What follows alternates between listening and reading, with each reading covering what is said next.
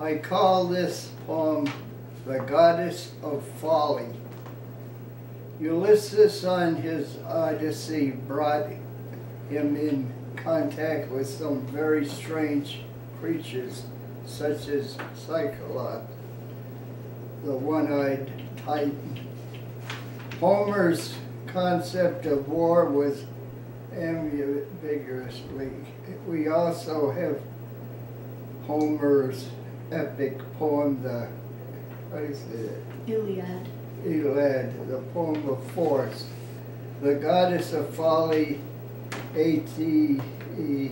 played no small part in the fate of the hero um, Odysseus.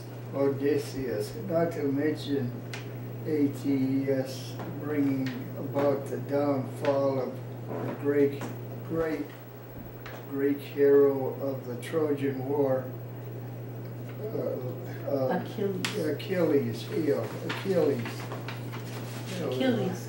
That was lousy. I should practice on that. Okay, this one here is, uh, has been published. It's called Writing Keeps My Demons Away.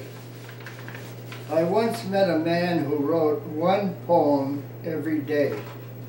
It didn't really matter if the poems were good, bad, or indifferent. The poet was only concerned with writing. He knew that he must write every day. I wonder if poets are really sane. There, there seems to be an edge of madness about them. Something is driving them to write.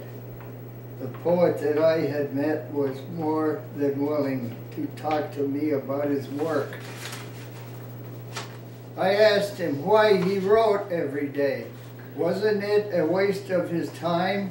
The poet looked me straight in the eye and replied, No, sir, it's not a waste of my time, for you see, writing helps to keep my demons away.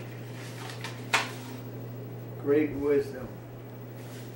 The sound of one hand clapping, the Buddha uh, nature. Wait a minute.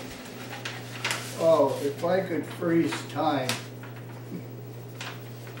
If I could freeze time in a bottle, you and I could have this moment forever. This would be superlative in my heart and soul. If this could only be our fate, we would be as one until the end of time.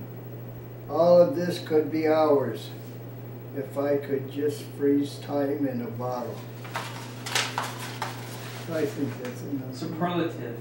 superlative. Su- Superlative. Superlative. Not superior. Superlative. Say it. Superlative. Superlative.